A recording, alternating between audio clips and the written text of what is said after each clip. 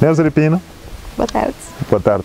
Obrigado por aceitar o nosso convite de participar e participar nesse programa e sobre Gongong. Prazer é tudo meu, sempre bom estar na casa. E também foi interessante porque é um pássaro que desde menino estou vista falar dele. E até tem e suposições que se fosse para menino, então tinha medo dele. para apanhar. So, eu gostava de saber mais sobre ele aprender. Bom, Gongong é uma ave marinha. Sendo ave marinha, está passa a maioria desse tempo na mar. Junto com o cagarra, Gongong e cagarra, estamos aquelas duas espécies que é endêmico de Cabo Verde. Será gongong é aquele pássaro que apanha peixe? Exatamente. Ele está vivendo na mar, ele está alimenta essencialmente de peixe e outros, e outros seres que estão vivendo na mar. E sendo endêmico de Cabo Verde, significa que ele existe só ali na nossa terra. Gongong ainda gosta mais de montanha, de na fogo, especialmente ali na pé de vulcão e na bordeira, dentro do Parque Natural de Fogo. Tem alguma particularidade de é, gosto de montanha, alguma coisa assim?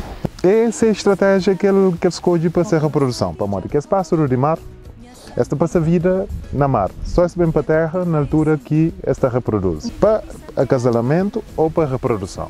Gongong, por exemplo, é é uma espécie que escolhe zonas montanhosas e ele também reproduz um vez para ano, não onde que ele põe só um ovo e para ano. Interessante. Que as espécies ali, essa, essa, essa, essa estratégia, esta vive seu tempo, mas está a reproduzir pouco, não? Por exemplo, um galinha está chega a reproduzir 12 ovos no só ninhado. Sim. Já gongong não, gongong está a reproduzir apenas um ovo por ano. Quanto tempo que ele está vivendo? É, gongong pode, tem, tem algumas indicações que te indicam, mas gongong pode viver mais de 30 anos. É, de no fogo, trabalho já está com 10 anos e do tem algumas recapturas de que os primeiros animais que do que do capturava no início do trabalho. Então isso te indica, mas algum, alguns animais pelo menos vivem mais de 10 anos. Mas espécies similares te chegam a viver muito muito mais tempo do que do que 10 anos. Sobre se a reprodução, um, um tá? Exato. Só tem possibilidade de perder aquele ovo? Infelizmente sim. E Gongong tem estado a sofrer uma ameaça. A maioria por causa não homens. No passado, eh, para além de ter a história de medo de Gongong, na Santo Antão essa foi medo pior, e tem algumas outras ameaças. Tem uma crença, por exemplo, uma banha de Gongong da cura reumatismo. Então ele está com medo? Então pessoas te apanham ele para fazer barramedo ou para comer na passada. Oh, Então que ela fazer com que esse número de indivíduos bata diminui e de Gongong se ameaçar. Para além de que ela tem um outro grande problema, com a introdução de gatos, e gatos é, é um predador natural, e teu e gongong a ser comido também para gato. Então gato é um problema, quer seja gatos domésticos, quer seja também gatos bravos, gatos, eh, gatos que estão na patigar. Outro problema também é próprio ratos, né? que os ratos mais grandes também podem comer filho de gongong ou mesmo seu ovo na, na ninho. Para além de que ele tem mais um problema importante que afeta aves marinhas em geral e gongong também em especial, que é o problema de luz. E luz, principalmente na noite de nevoeiro ou de bruma seca, está provocando queda de, de adultos e filhotes de gongong, principalmente a hora que esta vai para o mar. Por isso, tudo que é problemas, problemas de gato, problemas de captura para alguém, problemas de rato e problemas de luz, é que é o principal problema que está feito a gongong e se está põe em causa se, se, se, então se para isso conservação. tem que fazer algo que te protege, né? Exatamente. Então, é uma das grandes coisas que se está a fazer na Cabo Verde é exatamente a implementação desse projeto, que se chama Projeto de Conservação de, de Aves Marinhas, na onde tem um forte componente de investigação, tem um forte componente de monitorização, mas também tem uma parte que é extremamente importante, que é um forte componente de educação ambiental. Por isso que estou ali na Chang, hoje com Neuza, e que é para levar as mensagens para Cabo Verde, necessidade de preservar o nosso ambiente, em especial de preservar aves marinhas.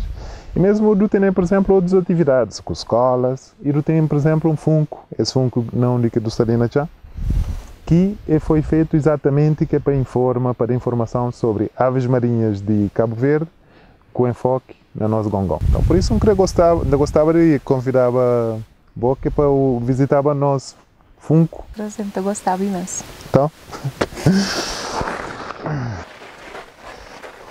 Bom, Neuza, disse na âmbito daquele projeto que enfrabo, que é para a conservação de aves marinhas de Cabo Verde, eu tenho esse funko, onde eu tenho uma exposição sobre aves marinhas. Praticamente, isso é tudo aves marinhas que está reproduzem na Cabo Verde ali, sendo que foco está, claro, naquela espécie que está reproduzem na fogo. O famoso gongong. Exatamente, gongong. é na mar. Sim. Então, gongong moro estou ali, é uma ave marinha, mas também terra especialmente para bem reproduz. Exato. Porque ele está fora ano inteiro ou tem setembro? Bom, eh, tem períodos que ele está baio, que ele tá fica fora, mais ou menos ele tá fica fora de julho até outubro, e a partir de outubro ele começa a reproduzir, depois, na janeiro ele põe ovo, na março filhotes tanense e na junho filhotes da boa para mar. Então ele tem um período de reprodução longo, quase oito meses na reprodução. Então gostaria de conhecer o Gongon também ao vivo, para além de eu já ver na... Eu gostava de pegar no Antigo, lembro a sensação de passar, que é só falar sobre ele, não sei o quê. E tio, vejo a música passa na mão. Bom, e, então eu gostaria de convidar para você que era que visitar a colónia, né, que é lugar na onde eu estou a fazer trabalho, não tem ninhos de gongon. E esta lá agora? Exatamente. Uau. esta na incubação, esta está incuba seu ovo ok. e seria interessante. Sim, fevereiro. Exato. Então né, seria interessante se eu puder visitar a colónia, eu tinha a oportunidade de olhar para gongon Exato. Ao vivo. ok? Tanto bem.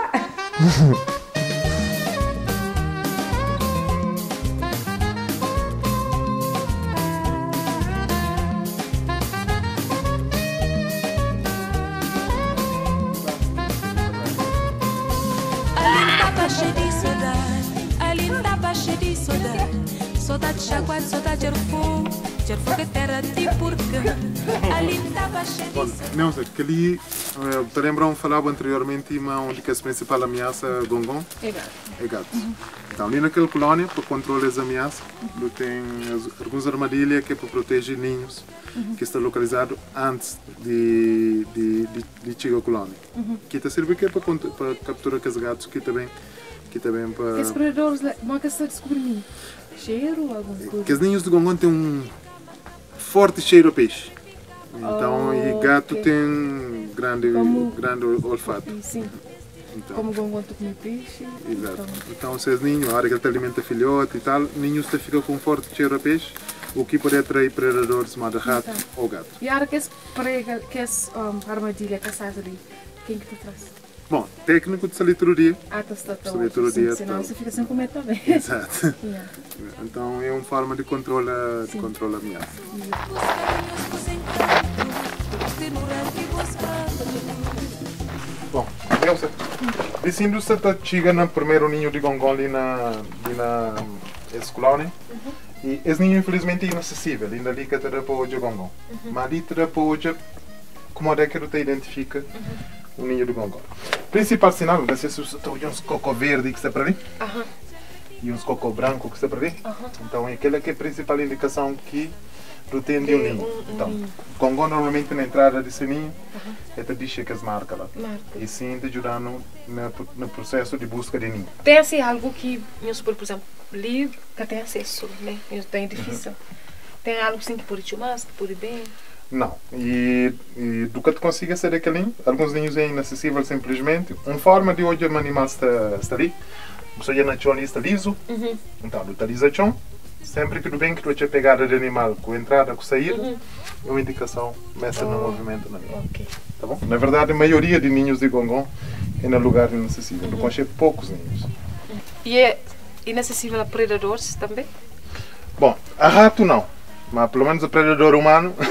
que, Sim, a única que-. A eles a única forma de comer é mar. Sim, é um ave marinha. Então, ave marinha, tudo se vira é na mar. Alimentação, descanso, tudo é na mar. É também terra exclusivamente para processo de reprodução. Quanto metro baixo da tu conseguir dar? Gongon tá mergulha, é, é um bom mergulhador. Há indicações que ele pode chegar até 5, 10 metros de profundidade para para pegar peixe. Meu Deus! Oh my god! César? Gongon. Olá! que lindo! Oi, Gongon! Oi, Picamon! Cuidado, cuidado. Sim. Mas aquele é bebê? Adulto. Ele é adulto? Mas como você se mais diferente para saber, tá? Que tem conta. Vai boca cheia. Nelson, aquele é onde que os ninhos de gongong que tu monitoriza. Os ninhos ali, os indivíduos estão naquele ninho ali já há mais de 5 anos.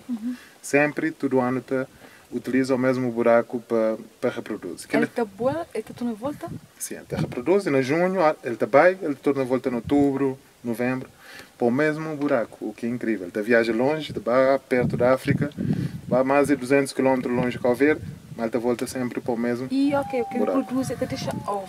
Exato. Ele, a hora que ele Tá põe fica- ovo, ele fica em Cuba, filhote tenência, hora que filhote ia para o mar, época de Ele reprodução de tá treme. stop, acompanha filhote. Também só de noite vem dar comida. Ah, vai durante o dia. ok. E também de Ele noite, só bem de noite dar comida durante aquela época que o filhote está a criar. Uhum. Tem que o filhote tem pena suficiente para boa. Ok. E depois, a hora que o filhote é boa, a época de reprodução te termina, Uhum. te, te, frado- te começa a época que está falado invernada. Uhum. Ou a época de imigração. Que ele vai para longe, que ele descansa. Uhum. Depois, ano seguinte, eh, ele vai em julho, no mesmo ano, em outubro, ele torna bem para começar a reprodução. E filhos, depois essa escolhe outro ninho, essa volta para para ninho de pais. Bom, ele pode caber para o mesmo ninho de paz, mas também para o mesmo lugar, a mesma área. Ah, Então, esse tem uma filopatria, eh, esse animal teu, esse volta sempre para o mesmo lugar na onde que ele nasce. Esse é fiel. Exato, esse é fiel. Então, que ele é uma característica importante. É bom, para modo, eh, ele te mostra filo, e, uma espécie que te permanecer sempre ali, mas ao mesmo tempo ele pode ter algumas desvantagens. Para modo, sendo- tendo aquela característica, pode acontecer, por exemplo, que um gato destrui um colônia inteiro e então ameaças a, animais que também para o mesmo lugar já é maior do que animais que estão distribuídos para teu, para teu, teu lugar diferente. Bom, tem um trabalho também que você está fazendo. Deixa eu mostrar ali. Você pondo uns aparelhos nele. Sei? Uau. Aquele é um aparelho de GPS. Hum? É um aparelho de GPS. É que está fazendo animal mal, a modo de leve. É, tem menos que 3% de peso de animal. Então, ele consegue ir com o direito e volta com o direito. Tá bom? Então, esse GPS ali está permitindo ter informação para onde é que o gongon está bem, a hora que você está reproduz e de onde que ele está bem. Mas Então- isso em contato com a água que tem um estrago. Cá tem problema. E é um, um aparelho que te permitindo ter um monte de informação sobre Gongon. Então é de extrema importância esse trabalho de investigação. Gongon também tem essa bilhete de identidade. Sim. Cada animal, cada animal tem uma anilha. Cada anilha tem um número único que está eh, associado a cada animal que tem. Então, através dessa anilha ali, se esse animal for capturado em outro lugar, já onde é. saber, exato, é de Exato. onde. Oh. Ele foi anilhado no fogo, quem é Aham. que anilhar, na que data, quanto tempo ele tem que ele foi anilhado. Então, aquela anilha ali te dá um monte de informação. Será que estava útil isso? Tu teve o primeiro caso de, do género, do Foi, é? captura de na fogo, na Montevaca, do captura um animal que do anilha na Santiago. É o primeiro Oh. caso e o único ainda. Então, mas isso já dá, te dá indicação de mobilidade entre, entre Já podemos colônias. fazer um. E aquele tipo de trabalho que iam fazer interessante demais. interessante. Iam fazer na toda ilha. É um Ah, trabalho de toda ilha. Naquelas ilhas que tem gongon. Exato. É um trabalho que está a fazer praticamente na tua ilha. Trabalho na fogo já está mais consolidado, é um trabalho já de mais tempo. Eu tenho 10 anos de trabalho ali, mas eu começo a trabalho no Santiago, na Serra Malagueta, eu começo a trabalho também na São Nicolau e também trabalho se também na Bom Ritmo com identificação de ninhos na Santo Antão. Então, tudo que as quatro ilhas está a ser coberto por esse projeto. E nós, equipa, e equipa da Universidade de Barcelona, Projeto Vitor, mas Universidade de Barcelona, junto com áreas protegidas de Cabo Verde, está a fazer esse trabalho de, con- de conservação de gongon. Tem mais um aparelho também que, que é importante também hoje, que é um aparelho também que tu põe na pé de gongon, que ele está falando geolocalizador. Te colhe um monte de informação também sobre o comportamento de gongon. Ou seja, tu consegue falar que hora que o gongon está na altura, que hora que o gongon está na água, através dele também tu saber se o gongon está no ninho, ou se ou se está no ninho, tu controla também e se imigração. Ele te, consegue tem, ele tem, consegue capturar a luz, com que hora tu consegue mais ou menos saber na que posição o gongon está. Que ele vem de comer esses dias, esse, por isso que esse naninho, mano. Bom, na verdade, o por GPS, esse quase está bem. Esse tem, quase ele tem tá quase um semana, ele tem um semana e tal ali, na linha.